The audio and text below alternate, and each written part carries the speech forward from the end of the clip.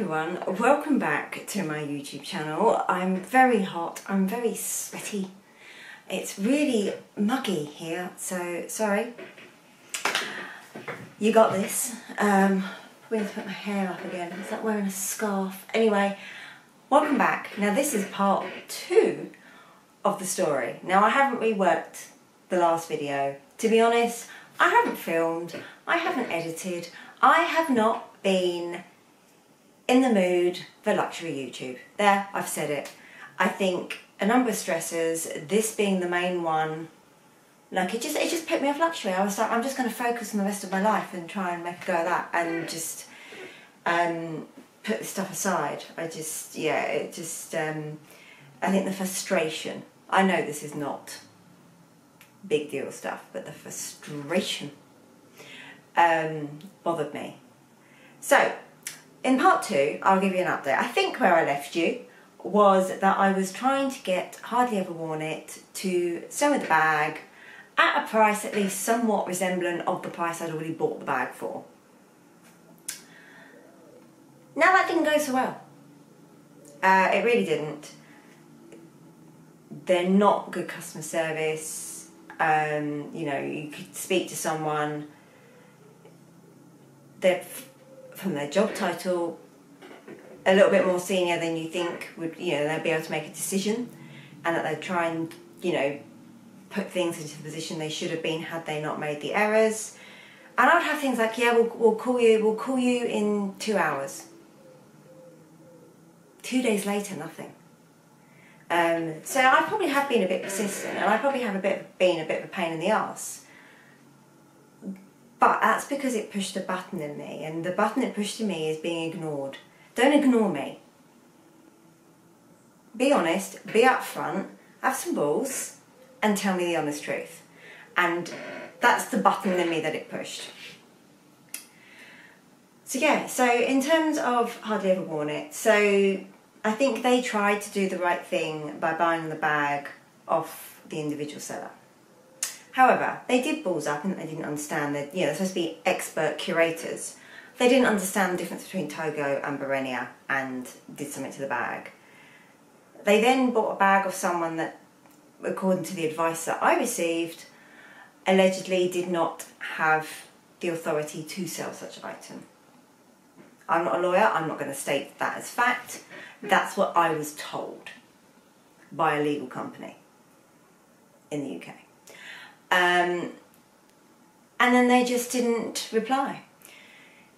It got to the point where I know I was obsessing over this too much. I needed to, I needed to let it go. I needed closure. I needed to let it go one way or the other. I did one final reach out via WhatsApp. So basically, on Hardly Ever Worn It, you can make an offer via WhatsApp. I did that. I got, I did it like uh, really like about seven in the morning thinking, oh yeah, they'll get to it when they get to it, like little hi, blah. I didn't say it was me, but I didn't say it wasn't me. I just, you know, I mean, they'll be able to see from my profile that it's me. It's my name and my address and email and everything. It's like no secret, no hiding, but no explicit um, disclosure either. But like, why should I? It's, I'm just trying to buy a bag, you know. Um, and yeah, I got a reply within like minutes. I was like, oh, not early, like waiting so early, like mm, fine. Um, they said they'd get back to me later that day, they'd have to check with the seller. Now I didn't say that I knew the seller was them. I was like, let's just not go there, let's just see what happens. Um, and then I had nothing all day and I was like, oh, here we go again. Um, but then in the evening, I did get a reply from the same person, I'm assuming, um, via WhatsApp. It's like it's a business account, so I don't, it wasn't named. Um, so I did get a response, and we agreed a price, and I basically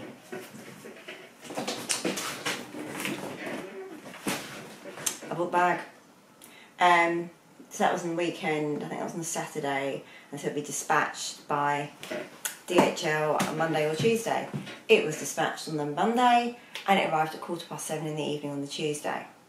We're now the Wednesday. And when I got home, which was a bit late because I was out for a meal, um, you can see the size of the box. I'm like, it's not a very big box the original seller, who has now blocked me on Facebook.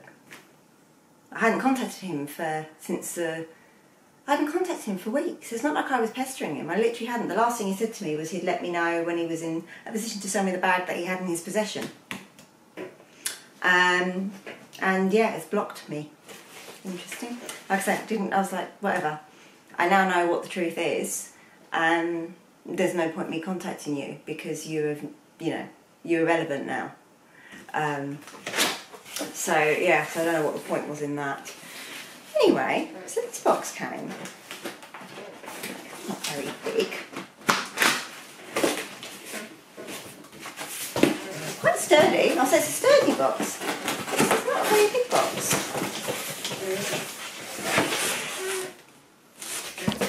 This is how the bag came. So the bag had some tissue paper, literally a thin sheet of tissue paper around it, and then was put in the dust bag and shoved in the box. Where's the Hermes box it was advertised with? And where is the protective felt it was advertised with? And I knew it came with it because it was on the original Facebook listing from the individual seller who didn't sell it to me. Um, and it was in their actual sales listing under which they say that the, pictures form part of the description. So I have sort of politely asked, uh, can you please send on the felt and the box? Uh, which, see, I'm assuming it's to cut costs, but like, I've paid enough for this. You advertise it with the box, you sell it with the box. Straight as. I've bought Hermes bags pre-loved without a box and without the felt. But I knew that. That's the difference. I know I sound like some crazy, bitter, twisted, moany old cow. I know that. But like I say, this has been about six weeks of just being given being given the runaround. That's the thing that's bothering me the most. Um, but I know I'm persistent. I know myself. I am persistent. When I want something, I want something. By the way, I'll put links in the description box below of some other Hermes 24, 24 and size 35 that were good. One was a really good price with Rebag, but for me, I was looking at adding an extra £800 on for customs. Um, that wasn't worth it. So, here he is. Here she is. This is the unboxing. Not quite the box it should have been. Here she is. This is my Hermes 2424 in size 35 in Beren in Barenia Faubourg leather in the colour Fauve with palladium chunky chunky hardware. Now she's not perfect, I knew that. She's got some scratches here. That's the tag that I need to keep on unless if I want to return her. She's got some dark marks here which look worse on camera than they are on the bottom, which I think is one where hardly ever worn it, but decided to apply leather balm. Um, there's some scratches, but again, it's the bottom, I'm, and she hasn't got feet. I'm not going to worry too much. On the back, we have this lovely, handy little pocket here. And if I show you my iPhone 13 Pro, regular size, goes in super, super easy.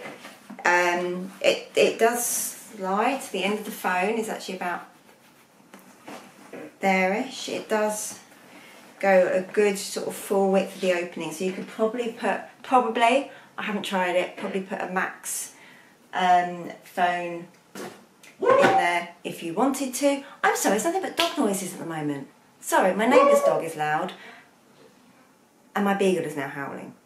Sorry, I don't know why. It's probably because I've shut the door and he's not in here with me. Um, but there's too many things for him to get his nose into.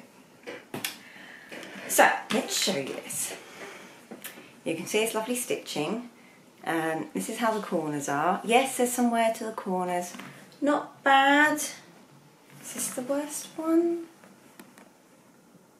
Not too bad, but smells amazing. Um, it is a beautiful bag, and this is why I was this persistent. The only other one I'd seen was on a company called Bagista, and I actually know from this original, not the individual seller that didn't sell it to me, um, but the seller that sold it to him, who's lovely lady. Um, I know from her that actually found out that when I was saying, oh, it's the only one I've seen, she went, oh, that was mine. So basically, she didn't manage to make a sale through Easter and then sold it privately through the groups. Um, so I haven't seen another Barenia 24, 24, so 35 anywhere. Which was why I was like on such a mission. And I'd, I'd set my heart on it. That was the problem. I'd fallen in love with the bag. I'm a crazy bag lady and I fell in love and I wanted it. Um, I could, I kept picturing different outfits with her. Um, you can see there, the inside is quite generous and so I've got stuff here to show you. And if I just get my, I think it's a 14, 13 or 14 inch laptop here. This is my work laptop. It's nice and small and sleek. And that slides in really easily. Oh, try and show you, but it's, it's, a floppy bag, but I knew that's why I wanted it in Barenia. It's like a slouchy style bag. So you can see there, there is the laptop, slid in nice and easily. Nothing is forced. Um, and then it just closes nice and easily. Now, one of the functionality aspects of this bag, which I knew, that it's not the easiest to open and close as you're walking along. However, for me, most of the time when I am going to be wanting to do stuff in and out as I'm walking along, given the use that I want for this, I can just put my travel card and my phone in the back pocket and I haven't even got to then try and open and close it and then if I do then I'm probably going to be stood still or sat down. Now, you will notice if I pop her down she really does slouch. Now, to help with that, like I say, it's a feature of the bag, I'm not going to fight it, but to help with that, I was extremely kindly gifted what's in here. So it came all protected in a nice FedEx wrapping. This was better protected than the bag. Then in this box, we have, you guessed it, an insert from Zoomoni with their usual gorgeous polite thank you card. I didn't come prepared with, I did not come prepared with scissors. Can I open this? I'm so hot and bothered. Um, I think today is one of those evenings where a cold shower is in order. Right. Sorry, squeaky plastic.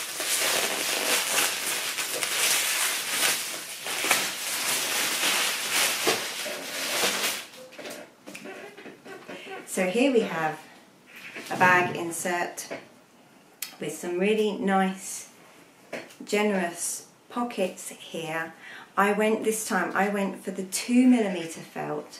So this is the thicker of the um, thickness thicknesses available for the liners because again I wanted to really add structure and being a bigger bag I could afford to lose a little bit of space. I also went for this fabulous detachable um, like you know cup or bottle holder and actually in my Birkin 35 um, my red Birkin 35 where I have a Zoomoni bag insert in there and I did the same thing, got removable. Yesterday I used that bag and I actually did remove the holder because I wanted to put some more in. I had the laptop, notebook, pair of shoes and two tubs of Marks and Spencer's nibbles in there. So I made the most of the space as well as my makeup bits and, and phones and God knows what else. So let's pop this in and let's see what difference this makes. As you can tell, I haven't even tested this out. I think with it doing this on my lap and the bag being quite flop, it's not the easiest to get in, but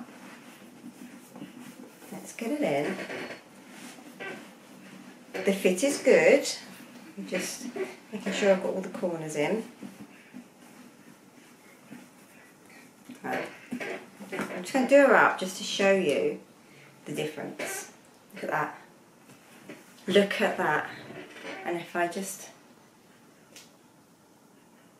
And that's empty. That's, that's just got the insert in. Oh, I'm much happier with that. Like I say, I know it's, a, it's got a bit of slouch to it, but there's enough give the insert to give that. But yeah, and it also helps from a storage perspective as well, I think, in terms of that not being so slouchy. Um, can I still get my laptop in with the insert? That is the question. Because I got this to use, you know, for work. Um, when you read a bit about the 24-24 in size 35, a lot of it is, um, you know, it's quite often it's referred to as a sort of, you know, it doesn't have a shoulder strap or anything. It's referred to as like a the office bag, the work bag.